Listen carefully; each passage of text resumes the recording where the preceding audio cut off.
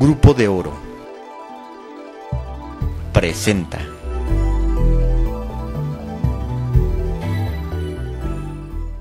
Lleva tres años haciendo malabares en los cruceros. Rafael González dejó la carrera de Ciencias de la Comunicación para dedicarse al arte circense. Esto fue lo que siempre quiso.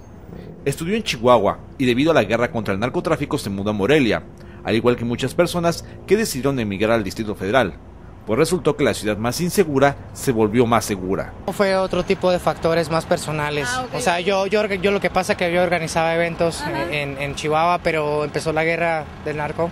Ah, y obviamente la, gente se empezó a desplazar de, Chihuahua. Este, la ciudad más insegura que era el DF, ahora resultó ser la más segura. Entonces, muchos amigos del norte están viviéndose para acá porque es algo muy loco allá. Allá está muy, muy delicada la cosa. Entonces, pues obviamente uno tiene que buscar los medios para sobrevivir, ¿no? Y pues ningún trabajo honrado es denigrante, te vuelvo a repetir. Yo me la paso muy bien.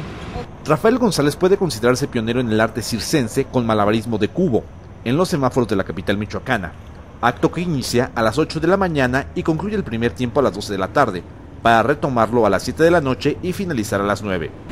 Estoy empezando más o menos como empieza eh, en base la jornada laboral de Morelia, que es de 8 de la mañana a 11 de mediodía.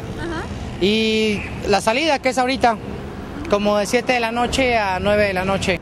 Durante un momento trabajó en acrobacias con cadenas de fuego en un antro, por lo que la evaporación de la gasolina comenzó a afectarle sus pulmones. No existe competencia segura, cada quien trabaja de manera tranquila y en diferentes lugares. A los demás no los ve como enemigos, sino como compañeros. No sé qué es competencia. no. No, no, no, no, no, no es tanto eh, un, comentario de golatra.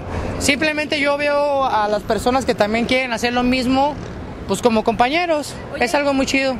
Rafael resaltó la importancia de permitir que las personas trabajen en oficios poco convencionales, porque en ocasiones es su única fuente de ingreso, donde la ganancia, asegura, no siempre se distribuye en drogas.